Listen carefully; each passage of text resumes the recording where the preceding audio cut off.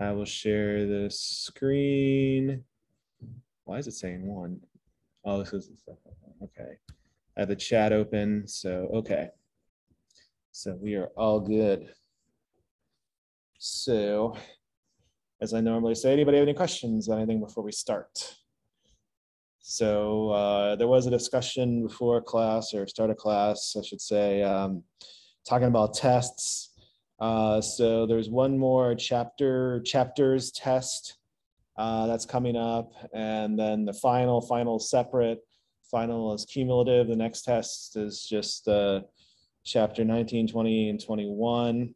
Uh, although material is getting easier, at least in my opinion. I, I mean, like when I took the class and when I teach it, I, I think things get easier, at least for what I've observed with the students. You know, it's like once you're over acids and base, this this class is just kind of a it's kind of like you're you're jogging downhill. I mean, it's still you're still working out when you're jogging downhill, but it's just a lot easier. It's um it's a pretty rude smack in the face, I think, in the beginning of the semester. You know, kind of thing for this class. Welcome to chemistry two. Come for your slap across the face. so so now it's it's more of an encourage, encouraging coaching downhill. You can do it. You can do it. So, and uh, as I mentioned, you know, and being recorded, uh, if you score better on the final, you get the score on your final exam. So, like, you get B's in the in the tests and an A in the final. You get an A in the class. So, uh, but the opposite is not true. If you get uh, like you know B's in the class and C in the final, the final could drop your grade down. But usually that, that rarely happens. Students either perform the same or they perform higher. And if you guys haven't noticed, that if, if you perform worse, I usually come and talk to you and like, hey, what happened? and then, and then uh, if you've noticed, I, I keep the, uh, I get, let me, where's the record button?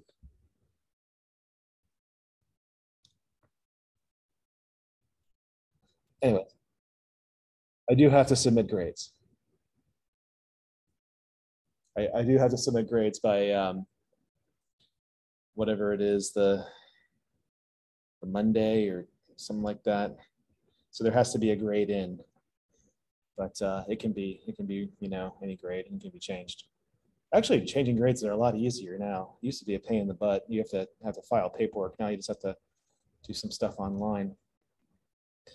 But anyways, yeah, so any other questions? Well, I'm talking about the, the nature of the course. Any questions about where we're going, the nature of the class, what we're doing? Okay, so what we are doing, we're doing electrochemistry.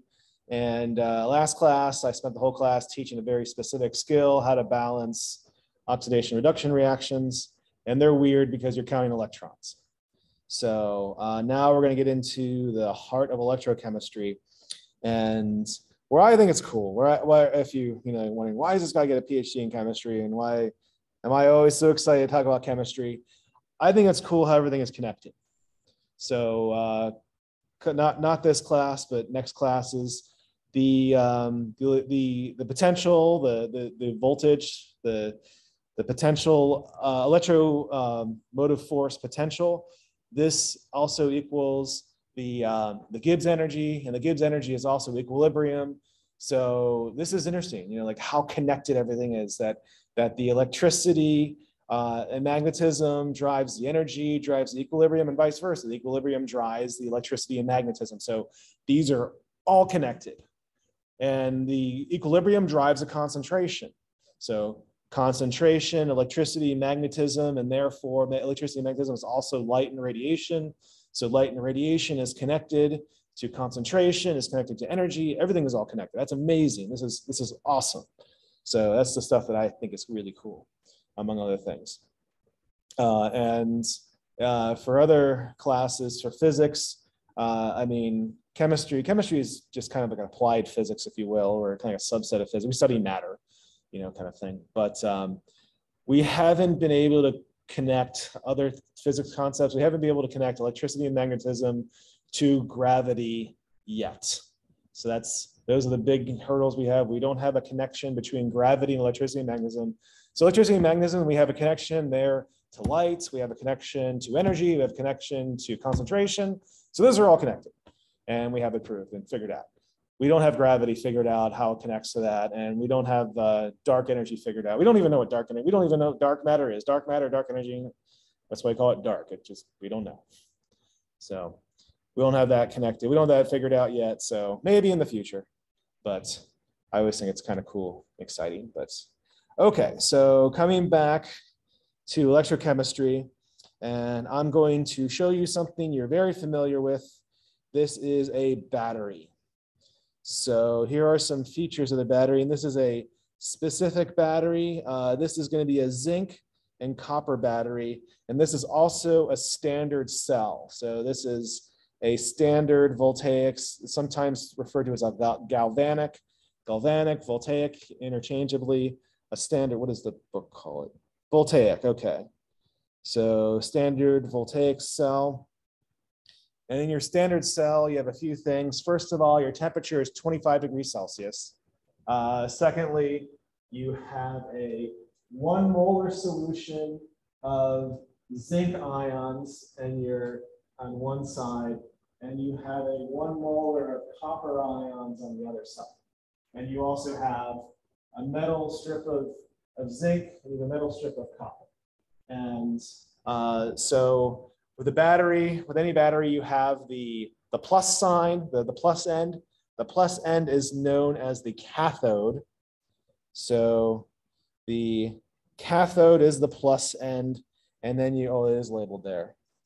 The, the anode is the negative end. So uh, how it goes by electricity wise, the cathode is the source of positive charge the anode is the source of negative charge.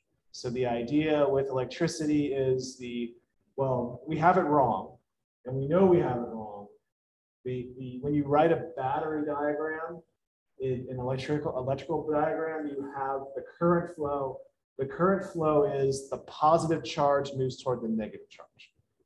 So of course, that's wrong. Actually, the, the charge that's moving is the negative charge the electrons move. So uh, let me, you might see these in other classes. And so here is an example of a circuit diagram. So you said, are you taking circuits now or is it next semester? Next semester. Okay. Have you taken circuits? Yeah. Uh, how about you, Kiana? Have you studied circuits at all? Nope. Nope. Okay.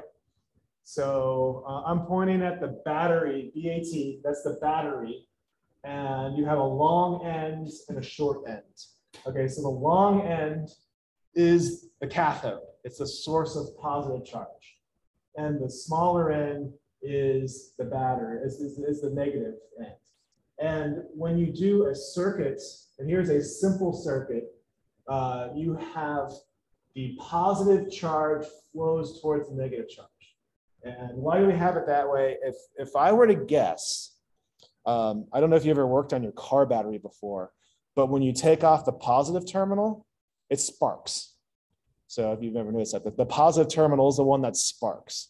Negative terminal, it's not a big deal. You can grab it, you know, you can grab the negative terminal, you can, you know, brush your teeth and hold on the negative terminal. It's not a big deal. But you start grabbing the positive terminal, you can get shocked, it'll, it'll spark at you, you know, kind of thing. So uh, I think, and the person that started doing this was Ben Franklin. So one of our founding fathers, he was a scientist as well as the United States founding father. And, and, and uh, I think he guessed it by the fact the positive uh, terminal is the one that, that sparks. That, that's, that's my own uh, guess, but he's the one, he, um, he, he thought that the positive charges move toward the negative. And, and I mean, he he didn't know which one it was, and so he guessed, and he guessed wrong. And you know, uh, then he set everything up for the positive charges moving toward the negative, and later on we found out that it's actually the negative charges move toward the positives. And did we change our equations and, and push everything back? And the answer is no. When we make mistakes, we stick with them because we're humans, right? Why should we change something just because we know it's wrong? So, and so every time you look at a circuit diagram, it's fundamentally incorrect. So, but we know it's wrong and we just, we've just continued with all our mistakes so much that it's become right. Kind of, sort of. But it, it- I mean, it works out. I mean, like it shows you among other things, like a circuit diagram and math, they're models. They're models. And as long as we understand how the model works, then it does its job. So, uh, so a couple things also with electricity. So uh, this this squiggly line. So I'm going the top over to the right. You have a squiggly line. That's known as a resistor.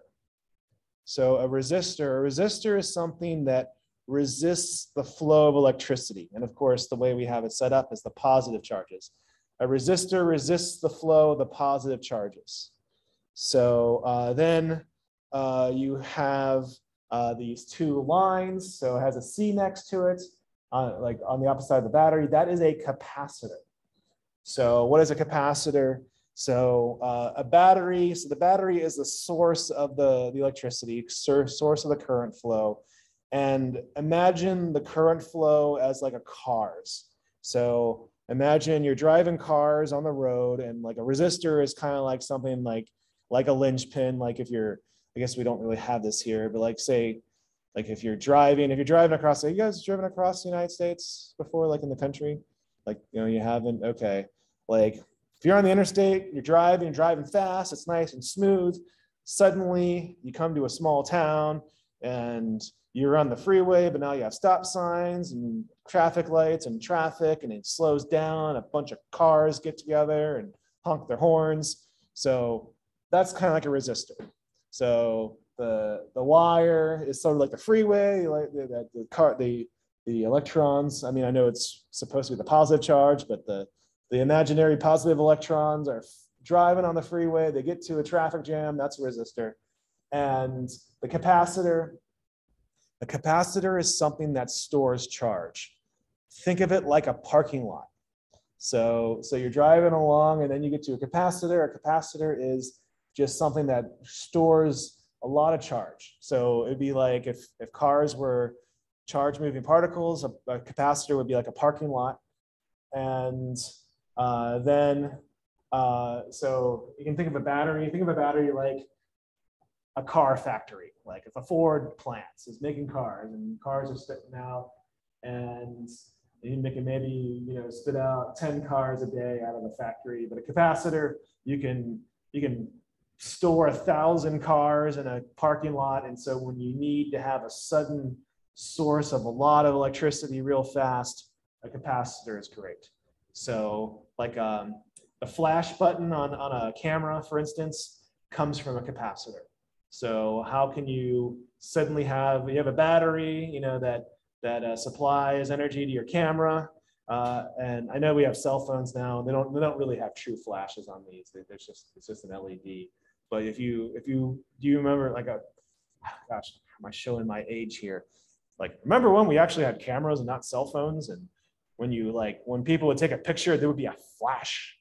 You know, like the, um, so why, why isn't that flash? Why can't we have that flash on all the time? It's because the battery doesn't have enough power.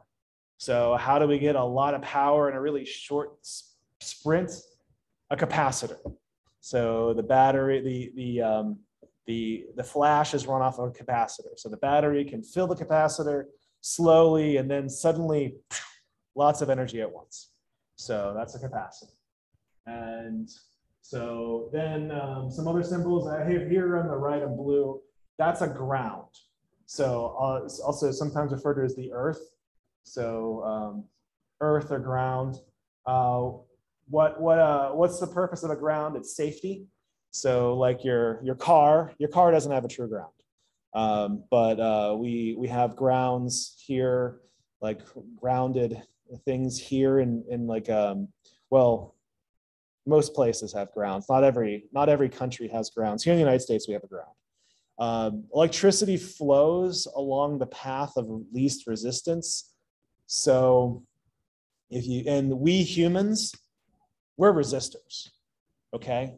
So what the what the purpose of a ground is is to give um, an alternate pathway that uh, electricity can flow, so that if if you have an event, you can the electricity can go towards the ground and not not just just flow towards some crazy resistor like a human or or something else that's that in the circuit that you don't want to damage.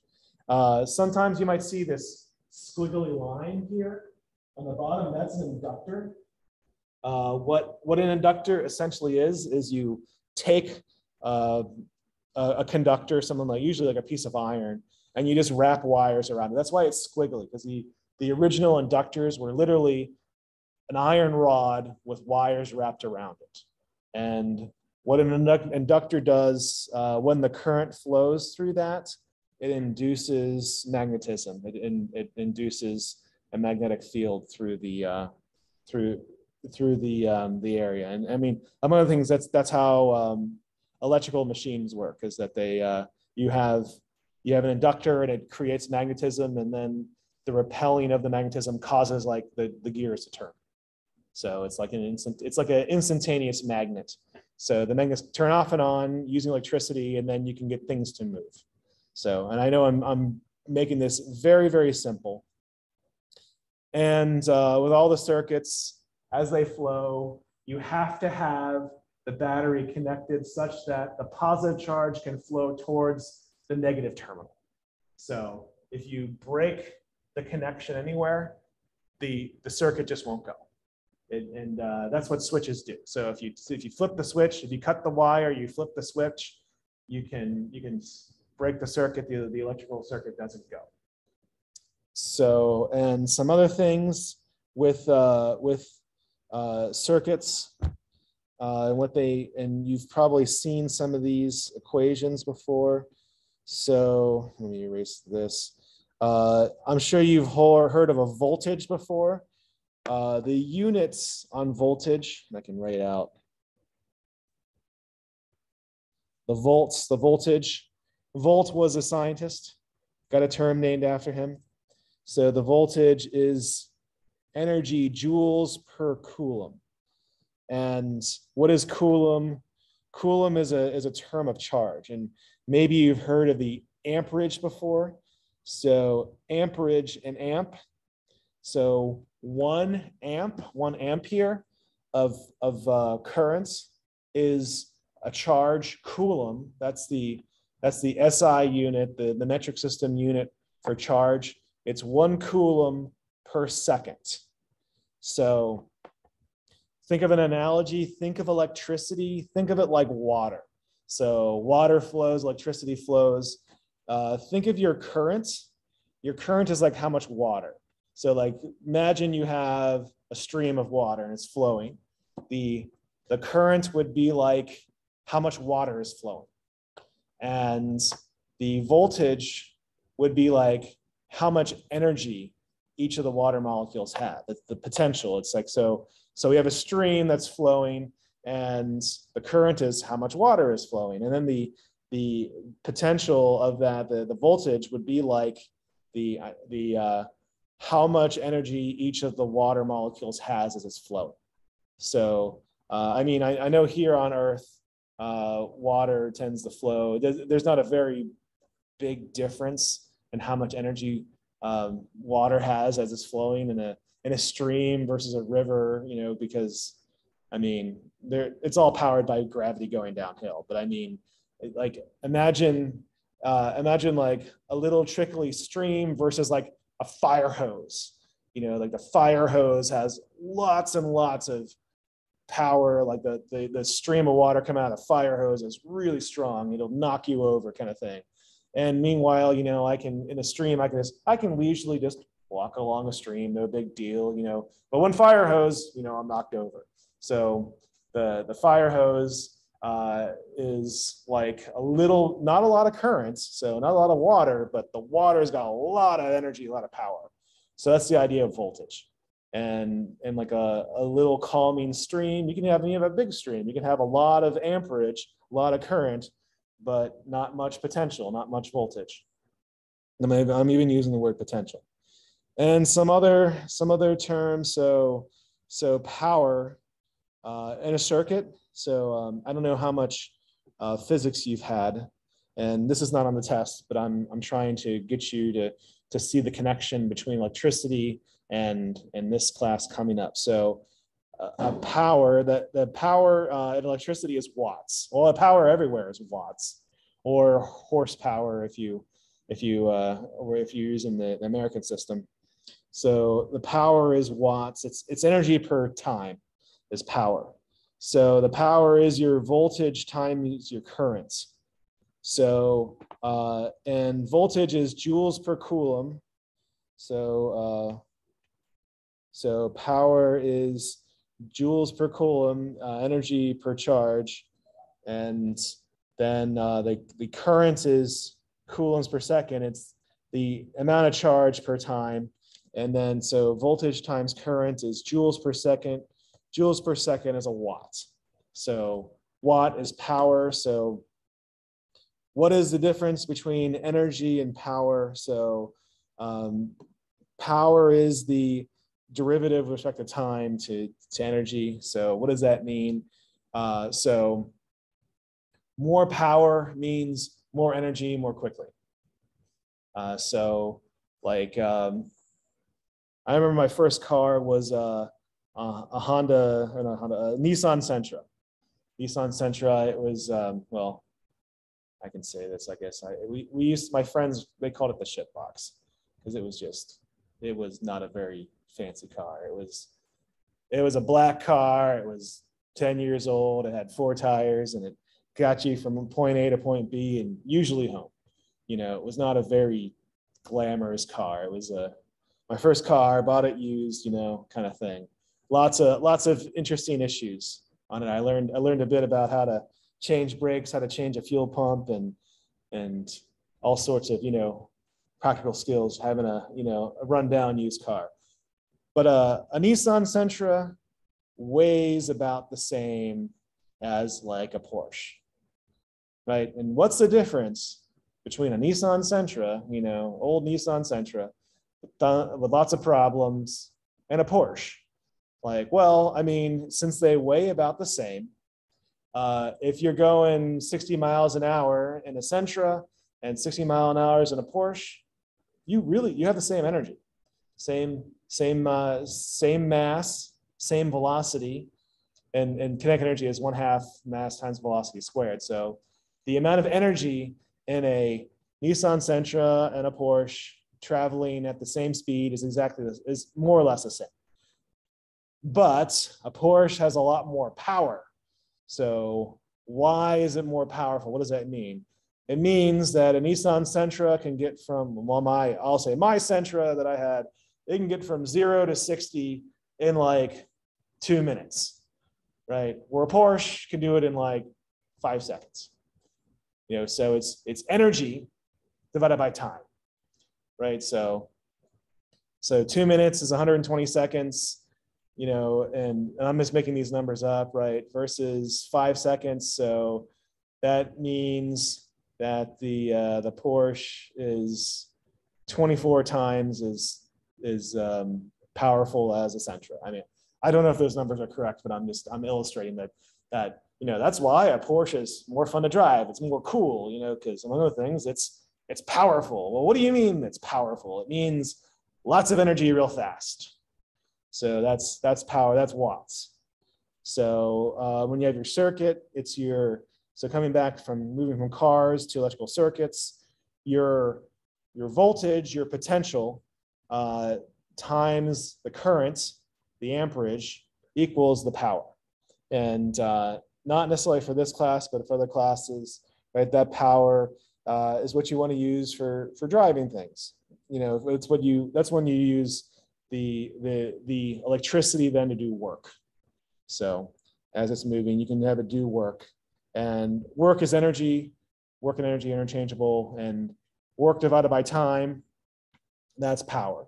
So depending on your application, right? I mean, power is important, right? I mean, if uh, you know, like, okay, you know, I'm if I can I can get this energy up to I can I can increase the I can get the water to boil to 100 degrees and And if I have a little bit of energy trickling away, it's gonna take forever to get to 100 degrees. Versus more power, it's it's heats right up real fast. So that's hopefully those uh, those kind of make sense. And and then uh, anybody have any quick questions about anything? Okay, so our our plugs also. So when you when you look at the the plugs that we have here in the United States, uh, and I've drawn it for emphasis, but um, the uh, uh, I mean, of course, this is this is alternating current. The uh, this this battery diagram is with direct current. So what's the difference between alternating current and direct current? The um, the the uh, it changes directions. Basically, it's uh, the uh, we haven't talked about electromotive force yet, but the the force pushing it changes directions with alternating current. And here in the United States, we have 60 hertz, so 60 times a second. In Europe, they have 50 hertz, 50 times a second. So it's the similar. So the electricity coming from the wall using that alternating current, it's basically the same as direct current, but it's changing directions uh, 60 times a second. And the, uh, the small wire, uh, usually the black wire, uh, the black wire uh, in the plugs, uh, the small wire, that's also known as your hot wire. That's typically the source of the positive charge. The bigger wire, that's also known as a neutral. You can think of it as the source of a negative charge. And then the big, the big one, that's the ground. So uh, although uh, it's, remember, it's alternating current. So um, uh, if you grab the hot wire in, in your electrical circuit, it's going to shock you. So uh, remember, alternating current has different rules than direct current. Whereas if you if you have a uh, a um, just a plain old battery, uh, under certain circumstances, you can electrify yourself with the with the positive wire and be fine. And it's not only until you connect to the, the negative wire that the electricity can flow. So although that's not recommended, you know, but it's possible for you to to be isolated enough that you can electrify yourself with the positive terminal of the battery and not be shocked. So, but, but it's also for humans, uh, our resistance is is um, or we we need to have a potential of at least uh, 60 volts typically. So we're we're insulators and our insulation is usually around 60 volts. So if you get a if you're less than 60 volts, you should be okay. Um, but I've never done this experiment, at least not knowingly. A, uh, a car battery is 12 volts. I've never touched both terminals to see what will happen. So, um, but uh, people tell me you don't necessarily get shocked if you do that, but I don't want to find out, you know, kind of thing. Uh, so uh, different different countries have different plugs, you know, different different wires, and uh, so uh, and also different different um, applications. So the uh, frequently uh, for electrical trains, for instance, uh, the electrical trains, the, the tracks themselves are the negative wire. So, uh, so that's one of the things I tell people: don't touch the tracks on the subway. You know, like because it could be the negative wire. If it's not properly grounded, it can shock you. So, kind of thing. It depends depends on the circumstance. And uh, so, and I know we have. I don't know how much you've traveled internationally. Um, I know like some places they just have the plugs are just that. One's one's positive, one's neutral, one's hot. Uh, hot pot. Usually for alternating current, you call the the one that that flows a current. We call that the hot wire, and then the the negative term we call the neutral, the neutral wire. Or it could be like my house. I um, the builder that built my house. Uh, I was I was installing the lights uh, in my in my house after it was built, and and for whatever reason, the contractor decided to have all the wires black it pissed me off. So all the wires are black and and like because normally what everyone else does is have the wires be black, the the hot wire black and the and the um, the neutral wire white. And not only that, whoever uh, wired my house um, did not do it consistently. So all the the switches, for instance, in my house, they were they were just um, they were put in randomly. So meaning that one switch had the hot wire in one place and the neutral in the other, and the other switch had them, and on the same circuit too. They, I mean, because because because usually when you flip the switch, then the, the electricity should usually oh it goes the same way and they connect it up. Oh, you'd think they do it the same time each way. And it turns out that assumption was wrong. So I remember um, trying to wire my house, and I'm like, um, I because I, uh, I mean I was I was uh, you've you haven't seen me in lab, but I'm I'm the overly cautious type. You know, kind of when it comes to I got I mean, when I work on my car, I wear safety glasses. So just you know, I'm that guy. You know, I'm always very very very cautious. And when I was when I was working on my house, doing the wiring, trying to I mean, I wasn't doing the wiring, but I was trying to connect things to the wiring, like basically lights. And and so what I would do, you know, I went my I um, I turned off the uh, the the fuse box or whatever, you know, the, the is that the still called the fuse box? I don't know. The the, the circuit box. I, I closed the circuit, you know, and I would bring out the uh, the switch and I would look at the wires. I'm like, I don't know which. I'm like, at first I was like, they're all black. I'm like, crud, you know, which one is which? So I brought my multimeter, you know, and and had it set up and and you know and, and had the and I connected it up uh, like put put what I thought was a hot wire around one terminal and the the neutral on the other and set the multimeter to the AC term and you know because because the if you we have 120 volts here so it's 120 volts coming in in our our, our walls. So and I wouldn't turn the circuit back on and and like okay I had it backwards like okay so actually this is the the hot, this is the neutral. And so then when I was putting the thing together and then like, okay, I go to the next switch and like, you know, I better check it. Maybe they did it backwards, you know. I don't know who would do that, why they would do that, but I better check it. And I checked it. I was like, sure enough, nope, they're all random. So I was angry because then I had to go through and I had to check each circuit each time before I would hook it up. So um, just be careful, you know, like, so if you are going to work with electricity, be careful. I was doing that for two days. I didn't get shocked. so um, I've been shocked worse than 120 volts. Man, man, has anyone ever been shocked before with like some? Nope. Oh yeah, that's that's it's a static. That's nothing.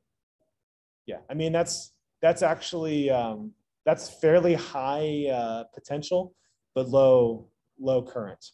So, uh, and I guess when it comes, we can talk about that with power, uh, voltage times currents. Uh, so you can actually have fairly high. Uh, you to to shock a human, you have to have over 60 volts. Typically speaking, you have a potential of higher than 60 volts.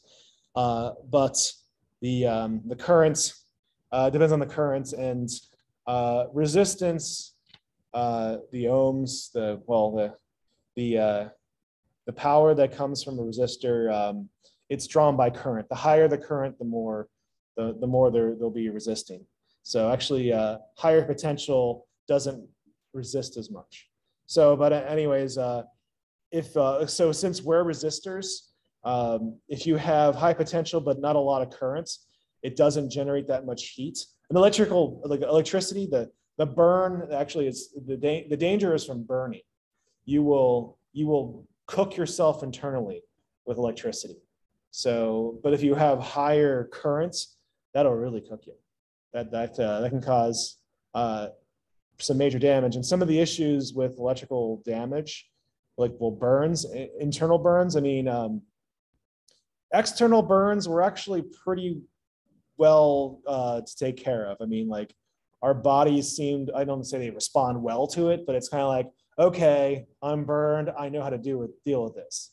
But an internal burn, be like, I feel fine. Meanwhile, you know, my liver is fried or something like that. Or, you know, like, kind of thing. So internal burns can be, they, they, like, I feel fine, but actually I'm dying, you know, kind of thing. So you have to be very careful. And, and like, you know, when you have an external burn, it's really obvious. Like, see this red puffy part on my arm? That's a burn, you know, kind of thing. Whereas internally, it's what's going on. So uh, your body's not sure. So that's one of the issues with electricity.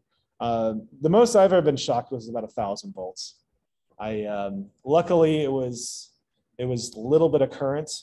Um, it was when I was a grad student and I was working on a machine and one of my my lab mates forgot to to not electrify something. And I uh, there was a wire that was exposed and I was um, I had a wrench and I was turning the the screws on something. The the wrench touched the wire and which completed the circuit and I was holding the wrench and it was a thousand volts.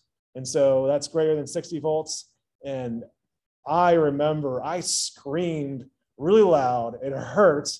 And I felt like someone punched me in the chest I found out later that was my heart seizing but I mean I I didn't defibrillate I mean the problem with you do that you can your heart can stop you can defibrillate and I mean, I screamed so loud that someone in, in the lab across from me came over to check on me, you know, kind of thing. And and the nice thing about uh, a, lot, a lot of electricity, if I mean, the, it was low current, so I didn't have to worry about a burn. I didn't have any burns on my hand or anything, but it, it kind of gave you quite a jolt. And if you can, if you can talk and your your heart is working fine, you don't have any burns that are visible externally, you're most likely fine. So I didn't go to the hospital. Maybe I should have, but you know, I I was fine, you know, kind of thing. But we need both. Yes, I mean that's that's what they say is amperage kills you. Uh, amperage alone won't kill you, but voltage beyond 60 plus amperage will kill you. So you have to overcome the um, the insulation nature of the human body. So under so other, I mean, that's, that's, uh, that's 60 is a, is a guess though. Like maybe if like, if you're soaking wet and you're, you know, full of salt, like say I'm, I'm uh, working on something and I'm really salty and sweat and, and I touch a car battery and then the current may not be able to throw flow through my body, but it could flow through the sweat coming from one arm to the other. And then as it's flowing, it can do resistance and do damage on the surface of my skin, you know, kind of thing.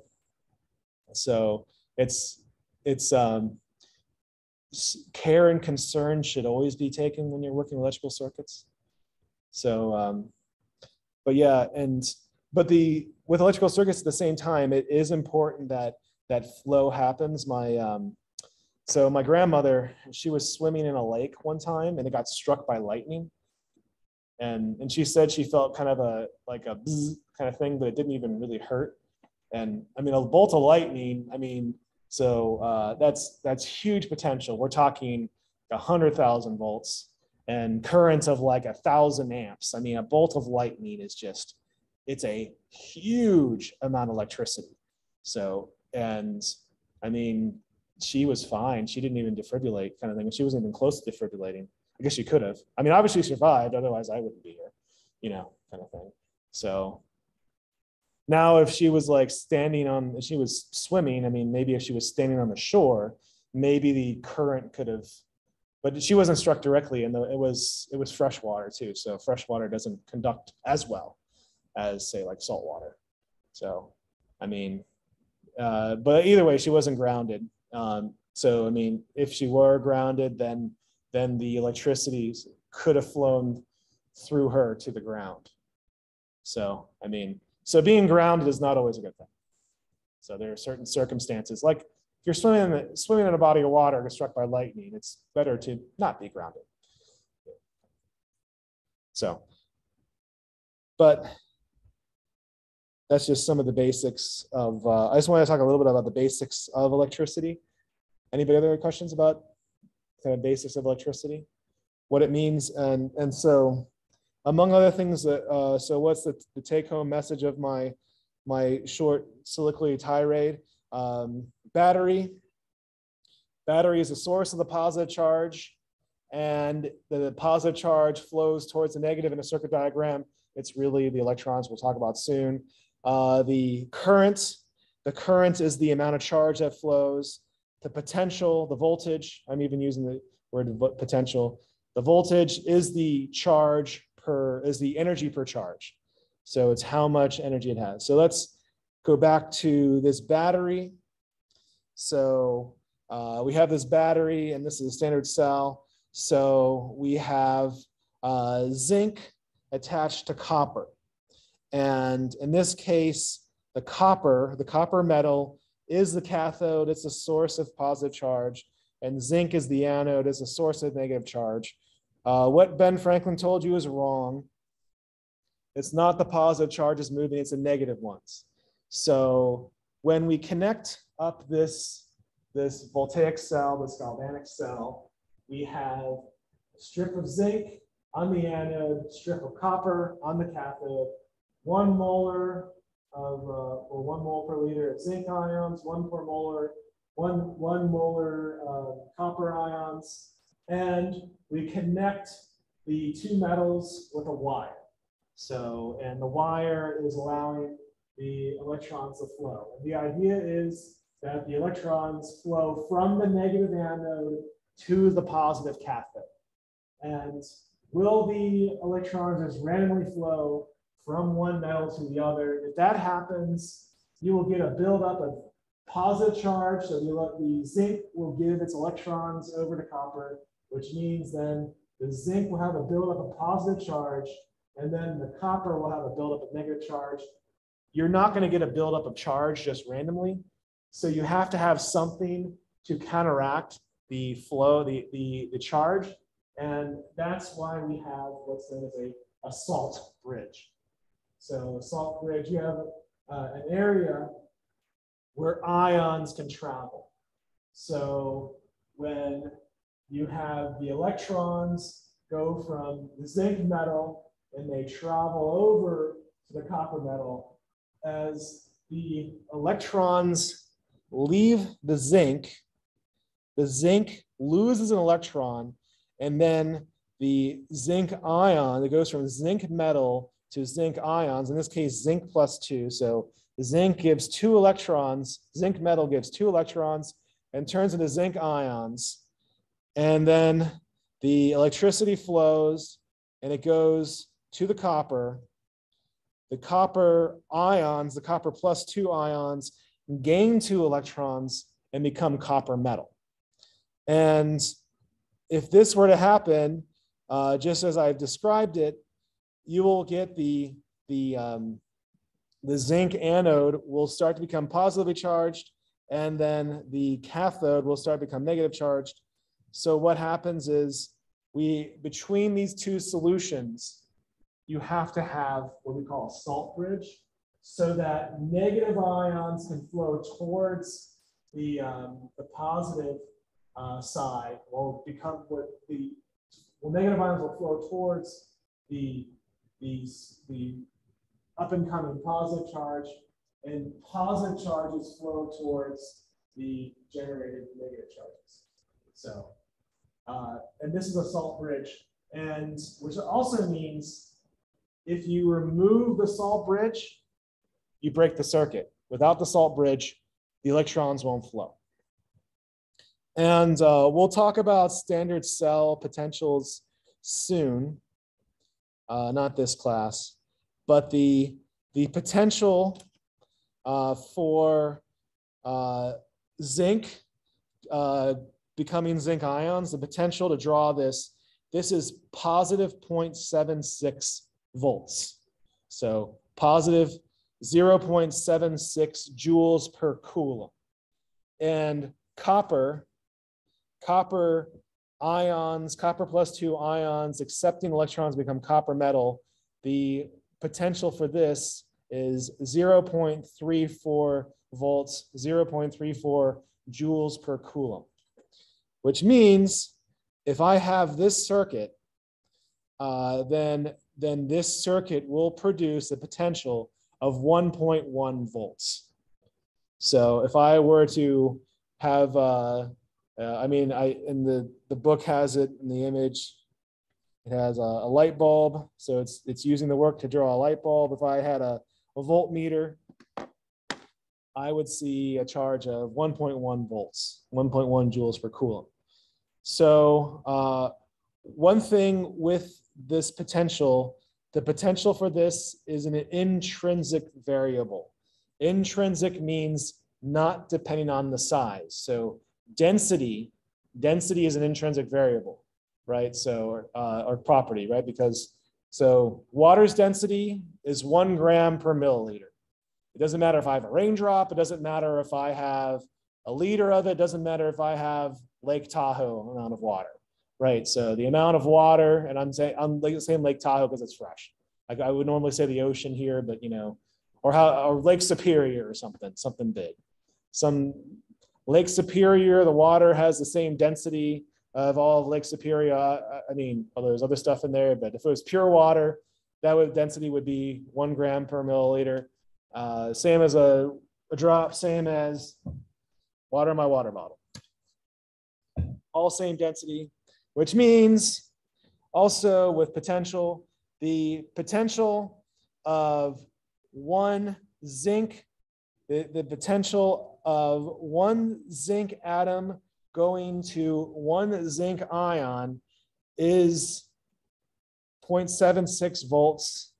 And the potential of 100 million moles of zinc metal going to 100 million moles of zinc ion is still 0.67 volts. And uh, that's because what drives it is what's known as the EMF or the electromotive force. So the EMF or the electromotive force is what drives it.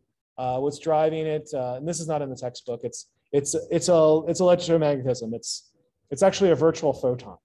So it's photons that drive it, but the the photons disappear from atom. They, they go from atom to atom, and um, a photon a photon is the carrier of the electrostatic force. So the the uh, electricity and magnetism is carried by a photon. Photons move at the speed of light. So uh, and well, you think that what really carries the electromotive force, uh, the electrons, it's not the electrons.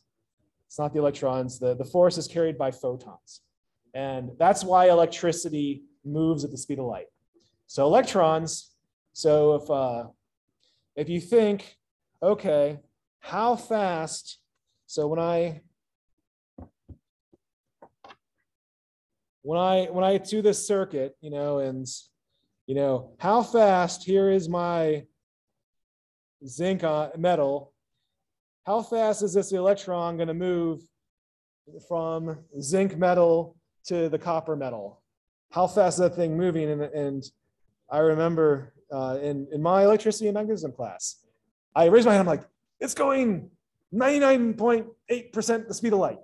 The teacher goes, wrong, wrong, wrong, wrong the electrons on average move about 10 to the minus 5 meters per second. So depends on the circumstance. So 10 to the minus 5, you know, that's what, 10, 10 micrometers? You know, that's really slow. Really, really slow. The electrons themselves, I mean, like, I guess they're moving quickly, but if you look at their linear velocity, like as they move across a wire, the electrons are moving exceedingly slow. So, I mean, when, when I was learning this stuff, I thought that like, I thought the electrons are flying everywhere. I was just like, isn't it cool? Electricity, you have the electrons like, pew, like they're just flying all over the place. And really the electrons, they just kind of, they just kind of move back and forth and they, they slowly meander. They, they, uh, you can force them to go in one direction, like alternating current. So alternating current, they just go back and forth. They're like, I'm going this way, I'm going this way, I'm going this way, I'm back this way. So alternating current, they're just kind of just kind of doing that's what they're doing in, in AC circuits. A direct current, like a battery, batteries are all direct current. They're not moving that fast. They're just kind of eh, moving slowly, but why, when I flip on the light switch, do the lights turn on, you know, within the speed of light when the circuit is connected? It's because the, the, the potential, the joules per coulomb of, of, of the electrons, this is moving in between them via photons, and photons move at the speed of light. So the photons, they, the, the carrier, the electromotive force, this is moving at the speed of light. So electricity does go, the electricity does work at the speed of light, but the electrons themselves are not moving that fast. So uh, also with this elect the electromotive force and the, the intrinsic nature of, uh, of voltage. Uh, so here is a little dinky thing. So this is, you know, a beaker. So I have a strip of zinc, I have a beaker, I have another beaker with a strip of copper, a solution of copper, and I have a salt bridge. So I have, it can be, it's potassium nitrate written in this, but it could be anything really, any, anything that's ionic, that's soluble. And a little stopper that lets ions pass. Um, so let's say like, hey guys, let's do something really cool today. What if I went and dragged one of those outdoor pools, you know, and I had an outdoor pool and I brought it to the parking lot. Well, I brought two of them. So I, I bring two outdoor pools and then I put, you know, I make a one molar zinc nitrate solution and then I I somehow get like a, a Nissan Sentra sized piece of zinc. Same thing, Nissan Sentra sized piece of copper, fill that full of, of one molar copper nitrate, you know, and then I take this huge tube and fill it full of potassium nitrate or something else, sodium chloride, whatever, something that can ions can flow. Like I guess sodium chloride wouldn't be good because it would cause precipitates. So, so I guess no, I guess zinc chloride and copper chloride. So I guess sodium chloride would work.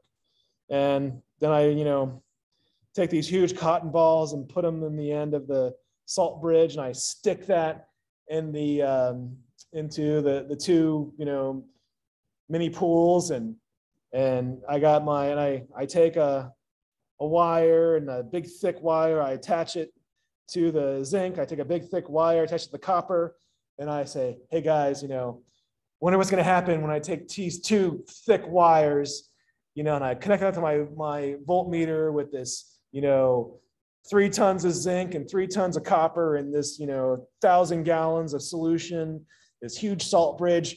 What do you think is going to be the potential when I put this? There's going to be a huge potential. And I'm all scared and I put it together and it goes 1.1 volts. Like, wah, wah, wah. You know, it doesn't matter the size. So the, the, the amounts of energy that's available in the zinc metal going to zinc ions and then copper ions going to copper metal, the amount of energy that's available in this transfer of electron activity is the same no matter how much you, you put in. So what would be the purpose of having that, you know, two standing pool, you know, car size hunks of metal battery, it would just last a long time. This is that would that that battery would spit out 1.1 volts for a very, very, very long time. So that's the only thing that would that would be the difference, would be time. Because then because there's more metal and more ions available. Uh, later on, though, uh, you might notice that as your batteries are dying, the voltage changes. Um, we'll talk about that in in in uh, in uh, a couple of lectures. That's because uh, the solution concentration changes. So the standard cell potential is at, at one molar. If you change the concentration, you change the voltage. So, and uh, we'll talk about that, the effects of that later on. So, but that's, we're starting off with the standard cell potential. And, uh, oh, and I didn't mention this equation here, the, the standard cell potential, so the E0, the, the standard potential is going to be the potential of the anode and the potential of the cathode. And uh, so how do you remember which one's the anode and which one's the cathode? So, so for me, I remember it by, um, I, I remember by anode corrodes.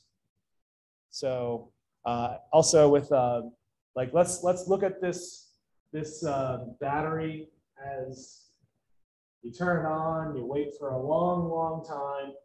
What's going to happen is the zinc anode is going to corrode. The zinc the zinc is a source of negative charge, a source of electrons. The metal is going to corrode away and turn to ions. So the anode corrodes, and then the cathode.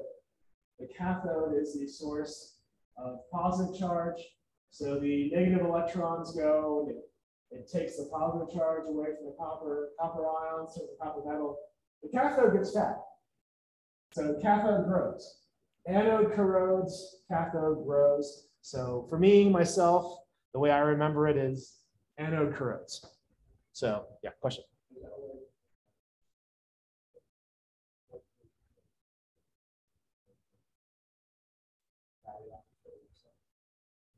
Which kind of battery? The, the alkaline batteries? So it's not going to be acid that comes out. Uh, there's a lot, I mean, there's, there's no simple way. The, the question, the question is, why do batteries leak as they start to get old? There's, there's no simple answer to that because there's different types of alkaline batteries. Um, the most common type is um, zinc with potassium uh, hydroxide going through it. It's just um, the the uh, the alkaline st- the the potassium hydroxide tends just to eat through things over time. Uh, it's more it's more of a um, it's more of a time in a in a very corrosive environment kind of thing. So then then uh, then actually the because when you say acid, it makes me think of a, a lead acid battery that's a car battery. So, but um, but yeah, the uh, and also the other thing is that when when batteries the the alkaline batteries die when they usually die it's the the zinc the the alkaline batteries are are zinc.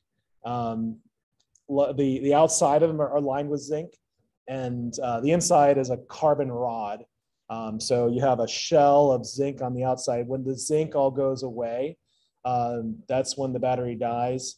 And then you then you have uh, the potassium hydroxide the alkaline is the potassium hydroxide in the battery then that can that can further corrode the the inside of the battery. Because like uh, uh, the the when the zinc metal all goes away when the battery is dead or and there'll be patches where it's open then the, the potassium hydroxide can then attack the other metal which is usually something like iron or aluminum.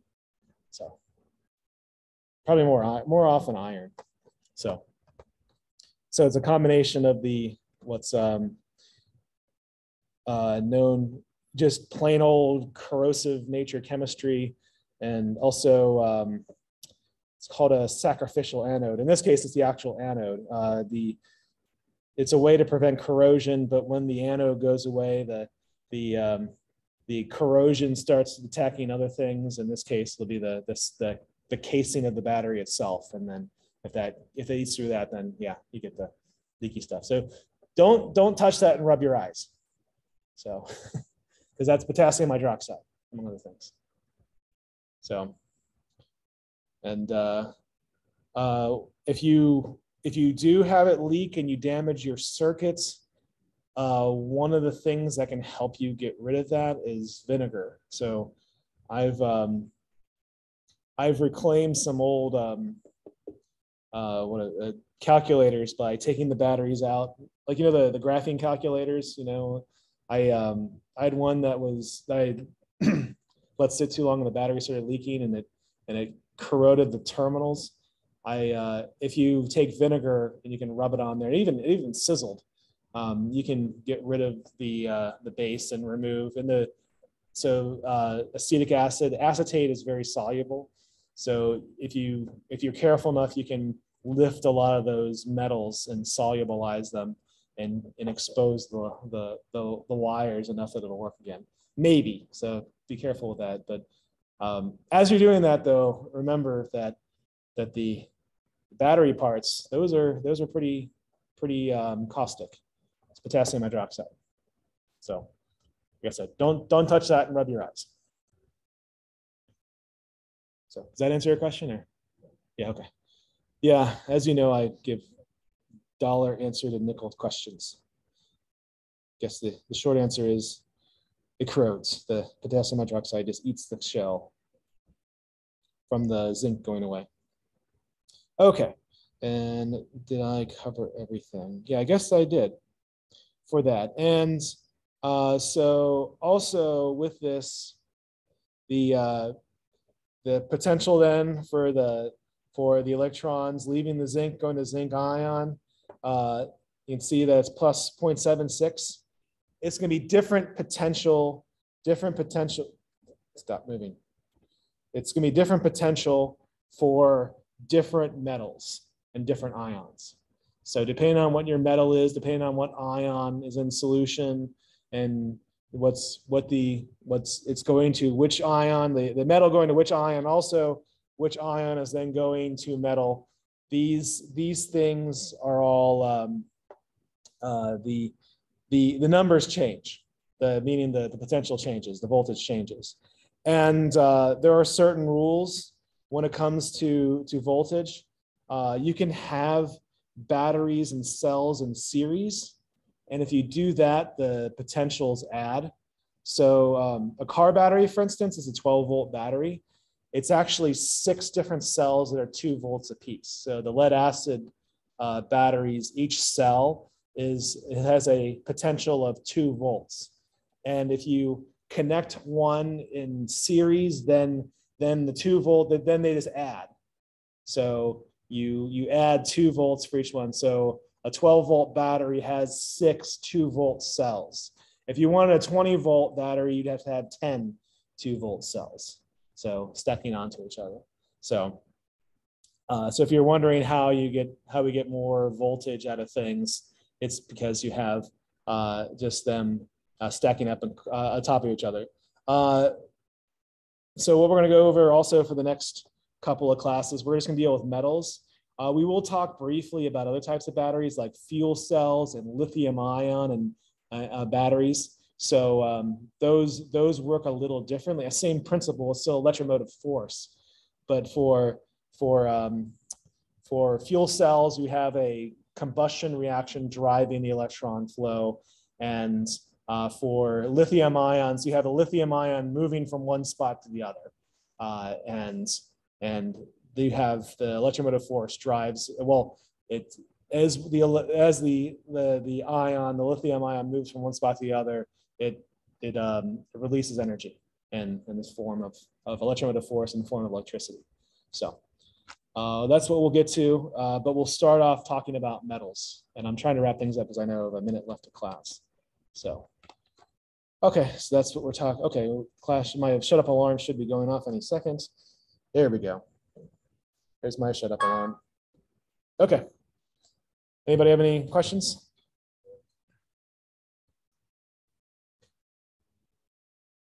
Right. See Keanu, unless you have any questions.